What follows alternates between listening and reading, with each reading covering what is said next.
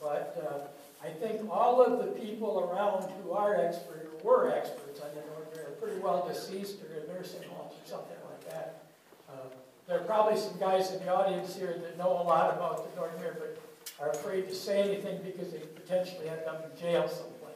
Uh, so, uh, start on just this picture belonged to the library here and was used on the little that photo was taken by John Heimlich. How many of you knew John Heimlich? John was a biology professor at the college. And he had a little cabin freezer and obviously was out. Uh, I would guess that this was probably maybe early in 1967 uh, from the condition of the boat. Uh, it was quite an attractive boat. It was only 12 years old when it ran aground, which is pretty, pretty new for a boat. And uh, on here you can see she stuffed up some uh, in this area here. I think that's ice damage from having spent the winter uh, out on Thunder Bay Shoal. We'll talk a little bit about the, the boat and some of the things that happened. This is a, an early photo of it before it uh, ended up on Thunder Bay Shoal. It's a typical saltwater vessel of the 1950s and 60s. And it's what they call a three-island ship. So you have uh, one island is the, the raised forecastle or forecastle, uh, uh, extra deck up forward. You also had an extra deck back aft that was called the poop deck. And that goes back to sailing ships, and I'm not going to go into a lot of detail about how the name came about, but you can figure it out pretty easily. So this is what the Nordmeer looked like. Uh, the name Nordmeer means North Sea in German not too surprising there. She came out of Hamburg, Germany. Uh, built in 1954. She was 471 feet long. she's 60 foot wide.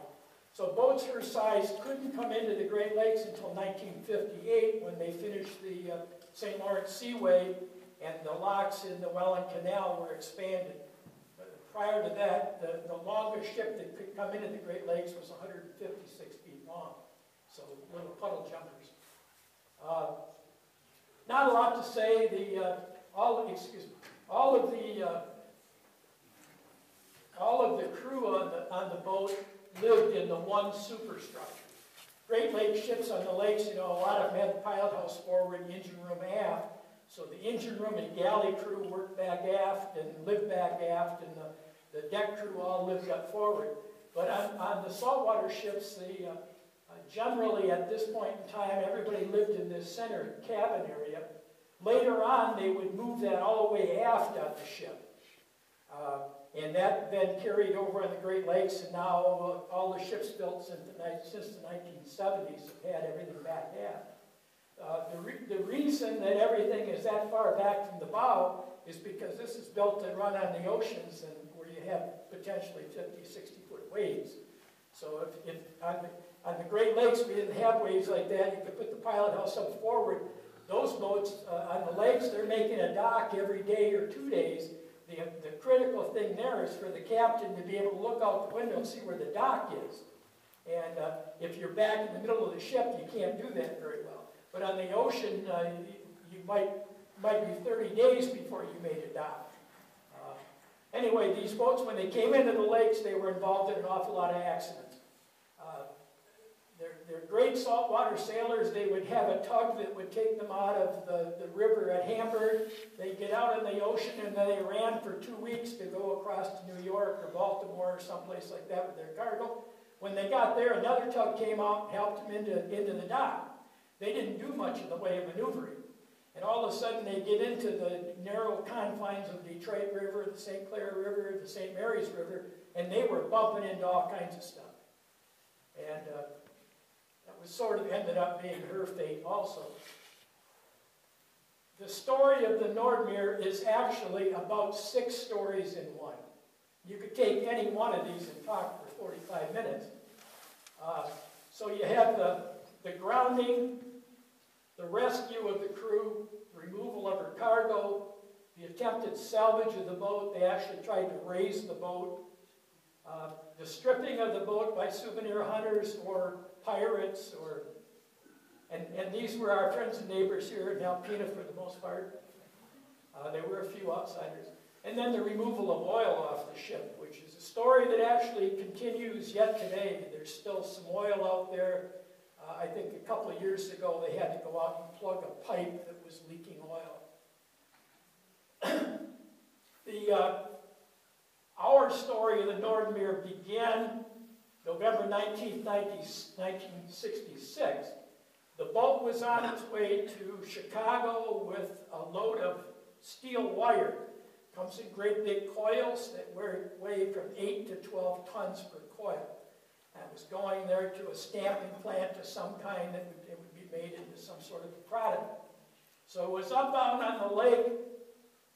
As you come up the lake, a lot of you probably don't know, but there are set courses on the lake, set courses in the river. Therefore, you, you just don't go where you want to go most of the time. You're expected to stay within the confines of the upbound or downbound course. And so she was in the upbound course, uh, coming up around Thunder Bay here, and then she was going around to Lake Michigan, so she needs to make a turn here. And the turn probably should have been up in this area right here where the, where the pointer's showing. And what happened is the, the pilot that was aboard the boat programmed the course change into the autopilot. And then he went down to get a little bit of sleep before they get up to the Straits Mackinac where he, it's going to be congested waters and he's going to have to be on duty. Well, the mate on watch, the first mate of the ship, didn't realize that the pilot had programmed in the course change. And he went ahead and programmed in the course change. So instead of making a 22 degree turn, they made a 44 degree turn. And again, these saltwater guys, they're not used to having stuff around them, okay? They're in the middle of the ocean, except for an occasional iceberg. They don't have much to worry about out there. But here you got a lot to worry about because you have shallow water. So off, uh, off Thunder Bay Island here, right, right in this spot here, you see a little difference in the color. Here's deep water, here's shallow water. And right there where the marker is, is Thunder Bay Shoal. And looking at it, I'm pretty sure that it was an ancient shoreline of the lakes. It's all rubble rock this big that's been washed by the waves for years and years and years, so it's nice and smooth on the outside. And that whole shoal is made up of rock like that. And so, you know, if, if and there was a bell buoy actually on the, on the end of that shoal. So you got a buoy out there with a bell on it, and if the pilot was looking out the window, he probably would have realized that he was getting kind of close to shore and, and he might want to pay attention. Obviously, that didn't happen. And they ran, they were traveling about 16 miles an hour. And this is a ship of probably 50,000 tons burden. So you don't stop them very fast. Even when you hit something that's pretty much immovable, like Thunder Bay Shoal. And he drove that thing onto Thunder Bay Shoal uh, all the way until it got just after the engine room. So the engine room on the boat is right under that superstructure. And uh, so it tore five, five cargo holds of the ship, tore the, the bottom out of it, and tore the bottom out of the engine room. If it had just been the, the cargo holds, the ship probably would eventually have been refloated and rebuilt and gone on with its life, but uh, it tore a whole lot of steel out underneath the engine room, which is virtually impossible to get to. Uh, so there's the picture, and again, it's the picture we started with of how she looked pretty early on when sit, she's sitting on the shoal. The first time I saw it, uh, we came around Thunder Bay Island, and I looked with a pair of binoculars, and I saw this boat out there, and man, it looked for all the world like a boat that was at anchor. It didn't look like there was anything wrong with it at all. Uh, the bottom is an aerial view taken a few years later. We know it's later because the, uh, the hatch covers are all gone. She's been broken in half, and uh, uh she's settled considerably in the water from what it was here. If you look here, she's got uh, probably a good eight feet from the water line up to the, the, uh, the, the deck rail. And if you look here, the deck rail is at the water level. So she's sunk that much in the water. The, there were 43 crew members aboard the ship, quite a large contingent of people uh, on those saltwater ships. Uh, Right after she went, uh, went aground, 35 of the crew members were taken off by a passing steamer, the Samuel Mather from Interlake Steamship Company. So basically, the crew got off in lifeboats, rowed over to the, to the Mather. Eight guys stayed aboard, the captain, first mate, the ship's carpenter, and then an assortment of other crew members. Their, their first thought was they didn't know how bad, badly the ship was damaged.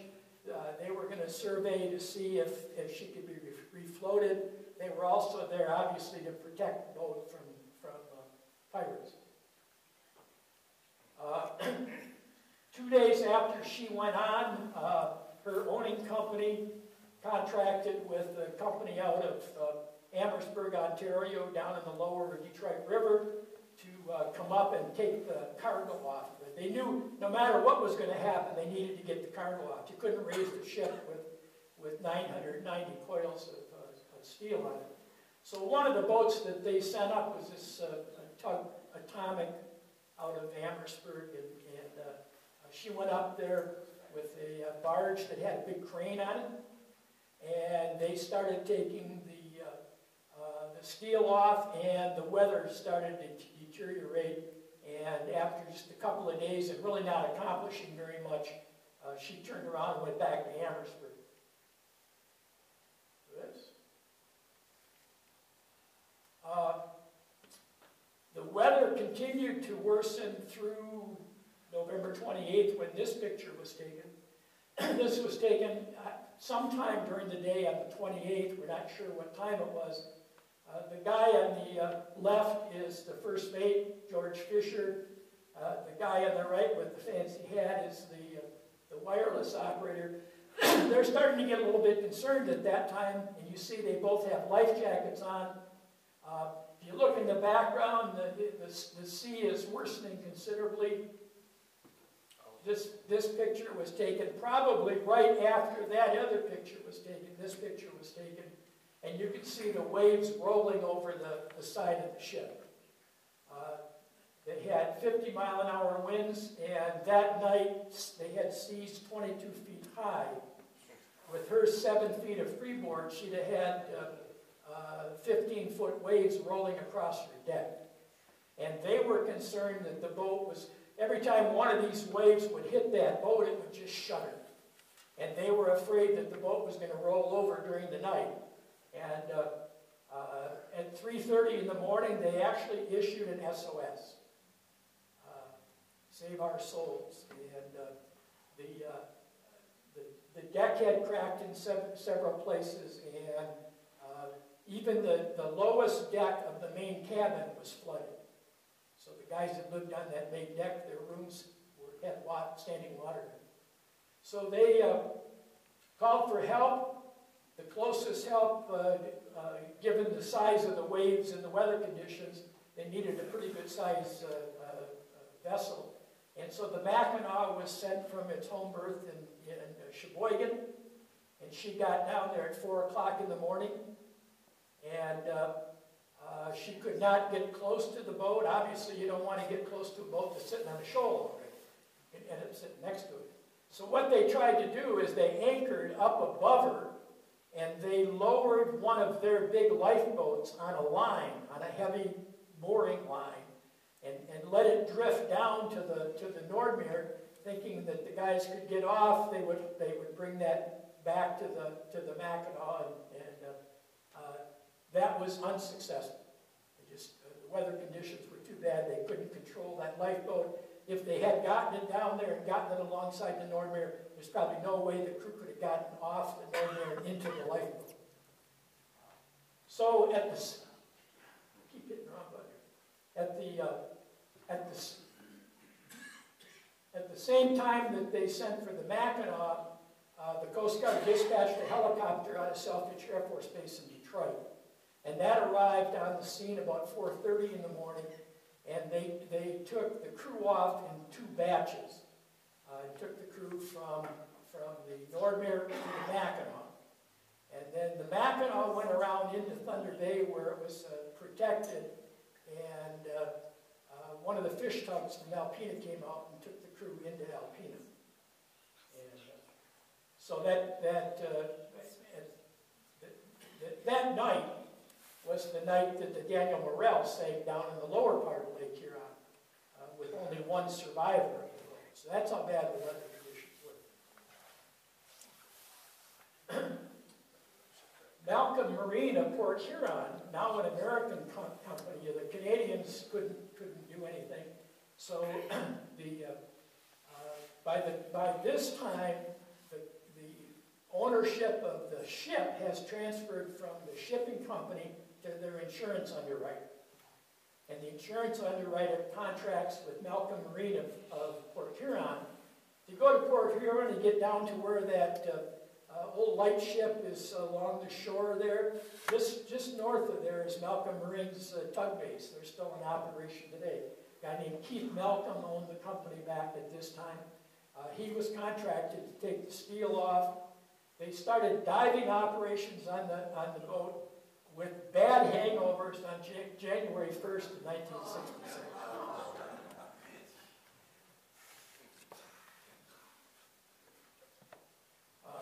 And this is, this is, uh, this is what the boat looked like. It was, it was, uh, had a pretty good coating of ice on it.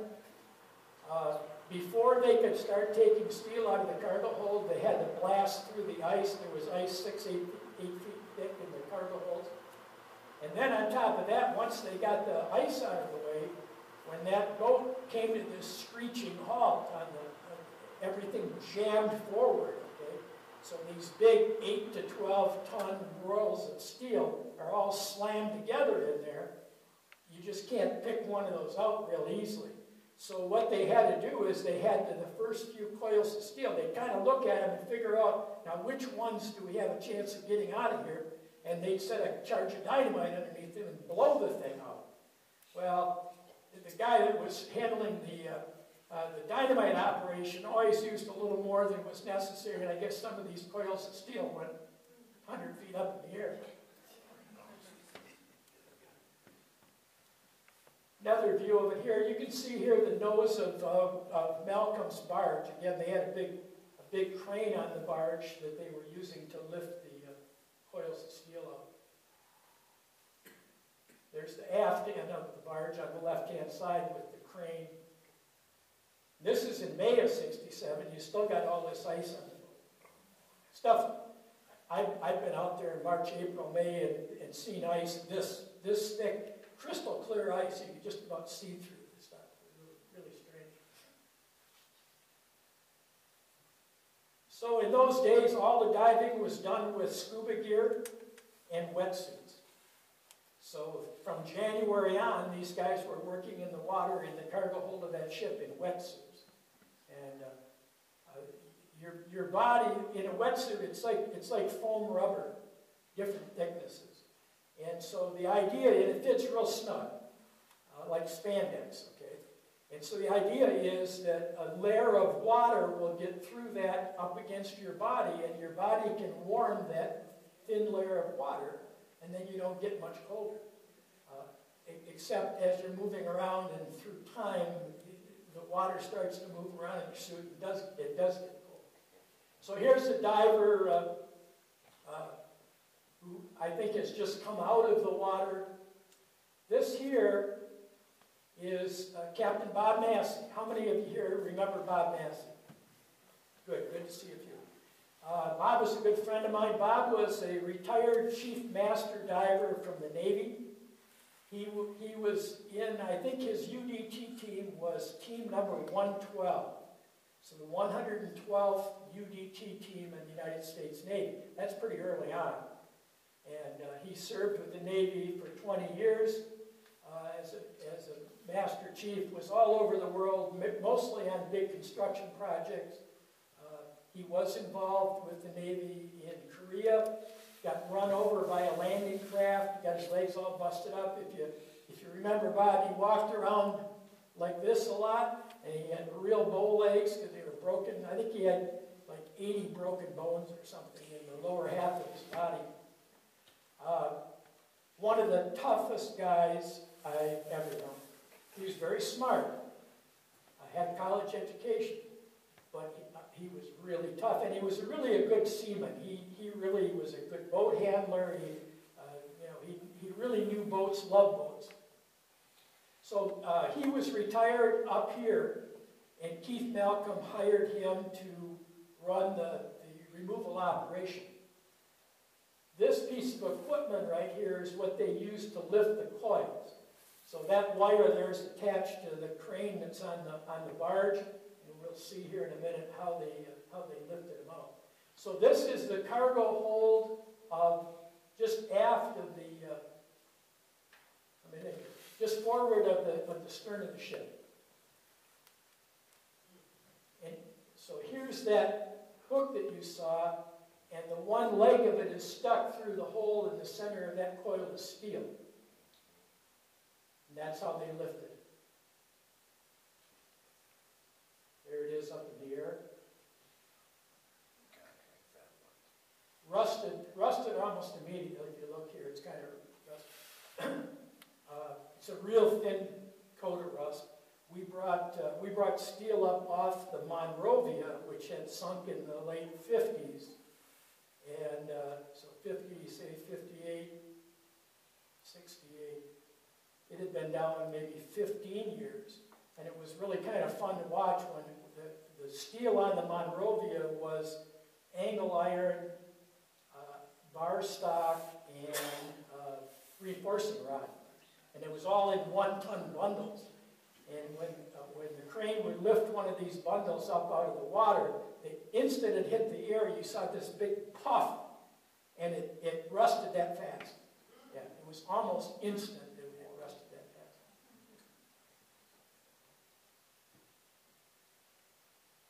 So here is uh, uh, Malcolm's tug, the Malcolm, and their barge. So here's the barge here, tug's over here. And here are the coils of steel on the, uh, on the deck of the barge. So they put them on the barge, and then they took them to Rockport, which is really the closest port to the location out there. And they would take them into Rockport, and then they, they would have a, a, fleet of semis, flatbed semis would come in, and uh, most semis would take maybe two or three coils of, of steel. So when you have 990 coils to move, this was a big operation, and it ran 24 hours a day for a very long period of time.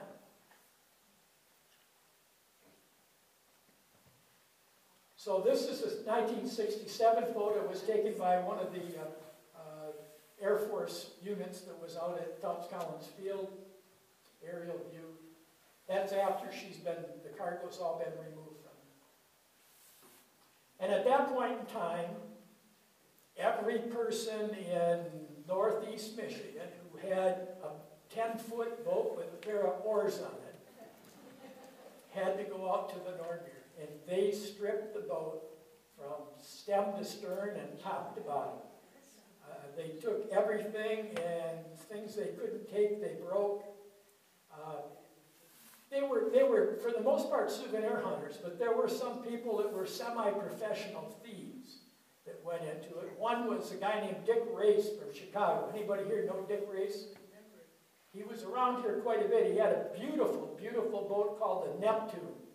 And it was a uh, all aluminum hull boat, kind of boat they built for the offshore oil industry. And it was built down in the bayous of Louisiana someplace.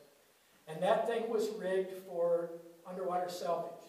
And Race worked for Raytheon or one of the big uh, electronic companies had all kinds of fancy electronic equipment. And they, they found a lot of shipwrecks around the northern lakes and they uh, scrounged stuff off those wrecks, an awful lot of stuff. Uh, how many of you know Jack Thompson from Alpena?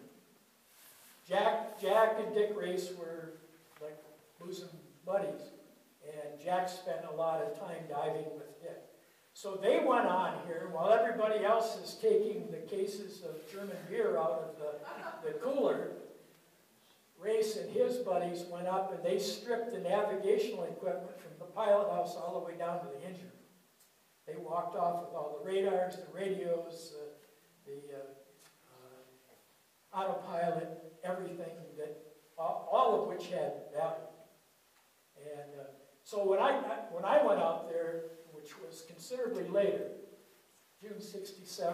I went out there in 68, yeah, late 68. Uh, there wasn't a whole lot left. When you got underwater, like down in the engine room, there were still a lot of tools around, like in all, all these different workrooms and stuff, you would find tools, many of which were, you know, completely usable. We also took off uh, pumps, big pumps that they would have used for ballasting the ship or pumping the bilges or whatever. We took a couple diesels out that were probably generators aboard that. Uh, some of you might remember that uh, Massey bought the old John Kendall, a steam-powered fish tug from, not fish tug, steam-powered fireboat from Detroit. And uh, brought it up here and was at the west dock at the cement plant. And he took that steam engine out of it, and one of these diesels went into the, to, uh, uh, the Kendall. So uh, we, we took our share of stuff off also.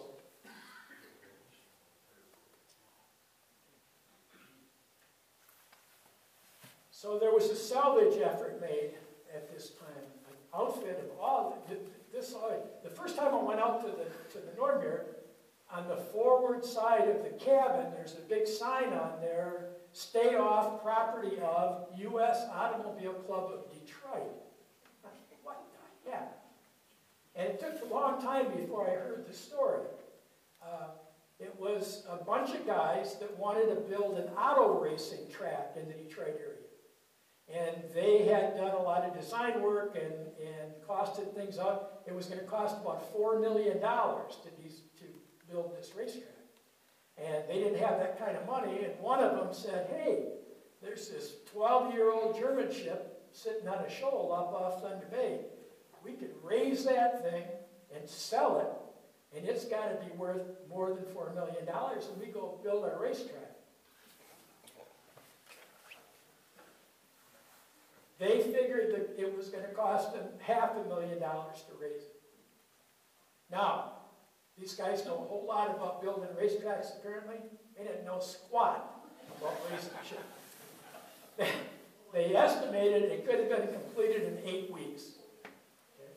Now remember, we got five cargo holds with the bottom ripped out and the bottom of the engine room is gone. Uh, and then their idea was that they would, they would take the two stories. The one I read in the Alpena News said it was going to, it was going to be taken to Rockport by the Massey D, which is by Massey's boat. Uh, Bob Massey always told me that, that he was supposed to take the boat to Alpena. And, it, and that sounds more logical to me. Take it to Alpena, park it in the river someplace. You got all kinds of services of different types available. Rockport, you got nothing. You know? uh, but anyway, that was their idea. So Massey would have towed it with the Massey D. I don't, some of you may remember this boat. It used to tie up in the river over here for years. Uh, it was built in 1905. So she was an old timer. I, I went on her in 68 and uh, uh, was on it on and off for several years. It was built as a sand sucker. And there were quite a few. This one operated out of Detroit, but you saw a lot of them down at Lake Erie and Lake Ontario. And they would get into sandy areas and they would either dredge with a, with a crane and bucket like they're doing right here, or they would, if they were, the water was shallow enough, they would, this right here is a, is a suction rig. This is the end, and the cutter end would be dropped over the side. And the boat would move along very, very slowly. And there's a big, you know, thousand horsepower pump in the forward end of the boat. And it would suck sand up off the bottom and then it's dumped uh, in, the, in the cargo hold here, which is open. It's like a big, big hopper. And, and, and it was designed so that they would pump this sandy water in there, and then the, there were scuppers along the side. The water drains out, the sand stays there. Then they go in and unload it with their crane. And it's a very fine sand. It's used in the cast to make steel castings or iron castings. So the value of it's pretty high. And this boat had operated out of Detroit. The old timer that owned it had a, uh, a propane stove in his kitchen, in the galley back in the, in the stern of the boat back here. This was bedrooms and kind of a lounge area and a small kitchen. And he came back to the boat drunk one night. He'd apparently left the stove on and the burner was out. And he lit a match to see where he was going and blew, blew himself up and blew the whole stern off the boat. So Massey and his partner, Dave Funk, anybody here know Dave Funk? Good. Dave was at Besser Corporation. He and Massey were buddies. I don't remember how they managed to hook up. But they went down and they rebuilt the whole stern of the boat. Down in Detroit, they bought the, brought the boat up here. Their plan was to do uh, salvage and construction work. They knew that Huron Cement had an ongoing need for uh, dredging in their harbor or uh, breaking ice for their boats to get in and out of harbor at the start or the end of the shipping season, that sort of thing. And uh, so uh, that's what the, the D stands for Dave. So Massey and Dave Funk were the partners in it. And Dave was kind of the, the, silent partner because of his position out at Besser.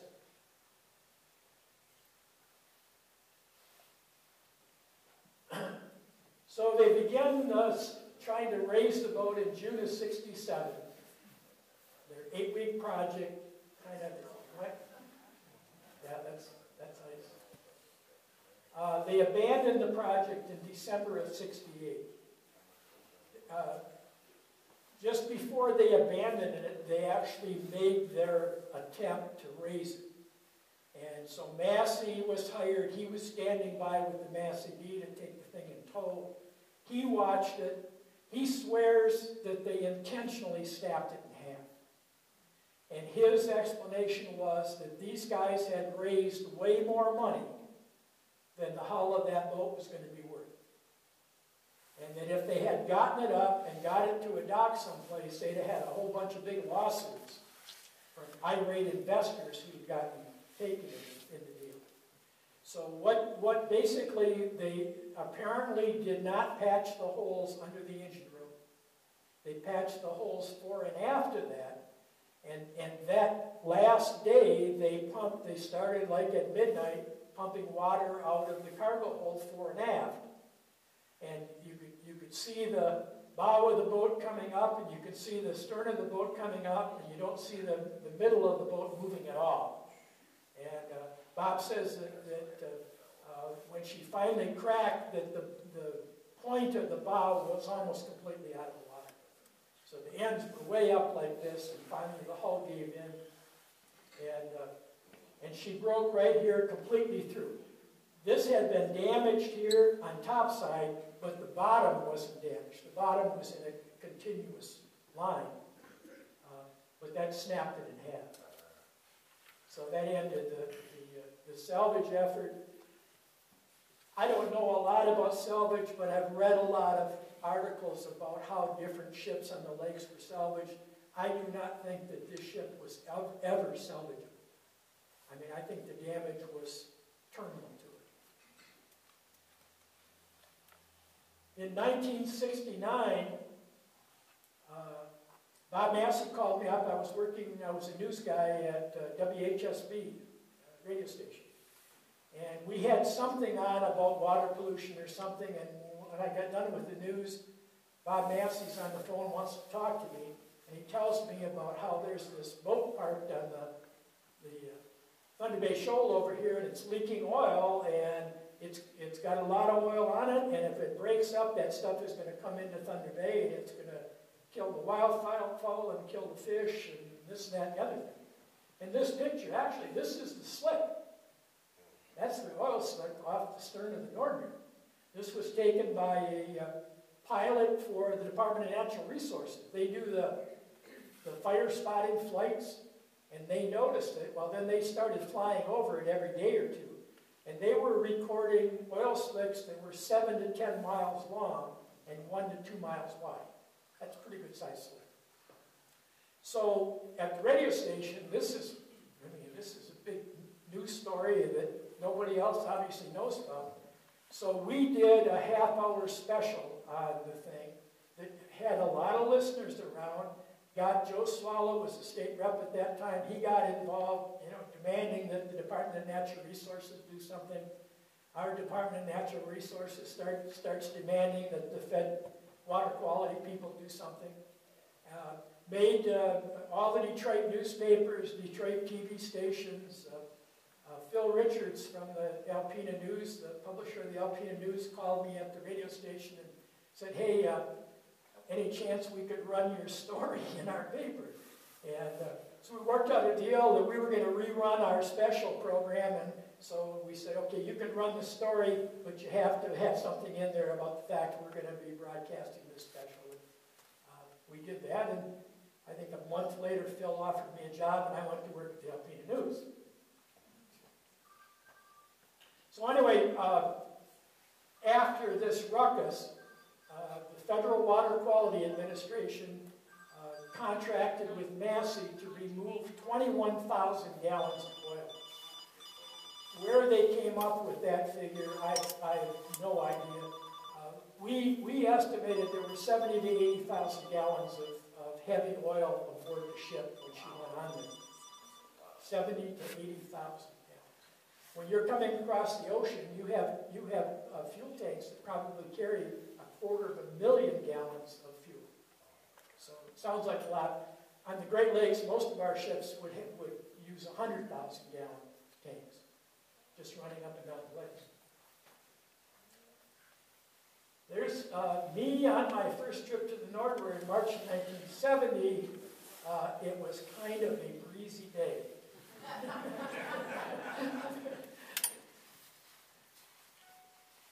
there's the Massey D tied up alongside the, the. You some idea. There's the little pilot house. The crane of the Massey D is back there.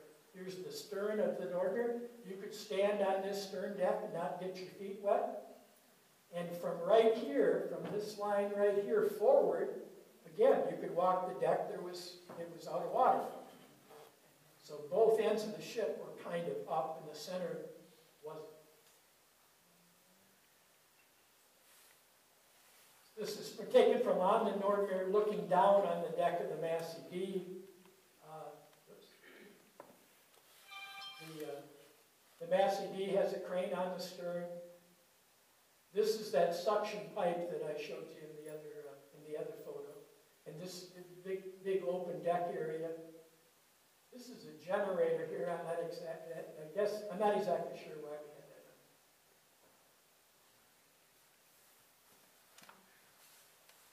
So then Massey took 21,000 gallons off. And in the summer of 1970, the thing starts leaking again. Yeah, you know, it, it had more than 21,000 gallons of fuel on it. So this is these were these pictures were taken. There was a commercial photographer in town for a couple of years at a place over on Chisholm over here by the Owls someplace. And he came out with us one weekend, and uh, this was one of his pictures. We uh, we spent a lot of time on there. You know, we'd go out what, what, what I, I was working at the radio station and the newspaper. The, the crew that was out there working on the job would always come into town Friday afternoon uh, and get replenished with uh, food and fill all their, their scuba tanks and stuff like that. The reason they did that was Dave Funk had to work Monday to Friday at, at Bessemer. So Saturday morning at 6 o'clock, the Massey D left the dock, and Funk would be along, and I would be along. And we would go out Saturday and Sunday. Sunday night, they would bring us back into town. So we were out there, uh, knew every inch of the boat, always looking for some treasure that people had passed over.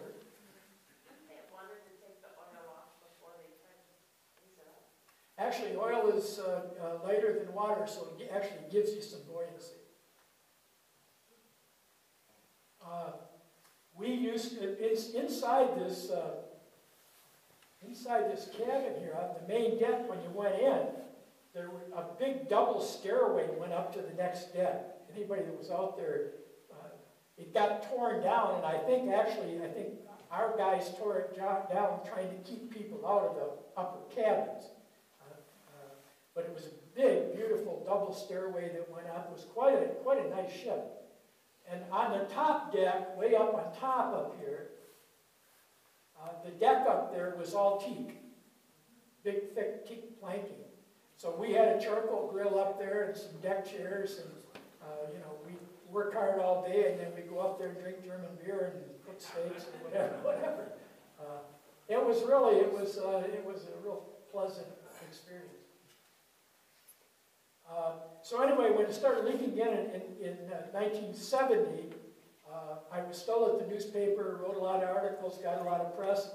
Uh, So uh, some big shots decided they would make an inspection tour. I don't know that if they believed what they were hearing from us. Uh, But they were brought out by a Coast Guard helicopter and uh, dropped onto the foredeck of the, of the. That's Joe Swallow being lowered down in a basket. Bob Massey standing there holding on to the basket.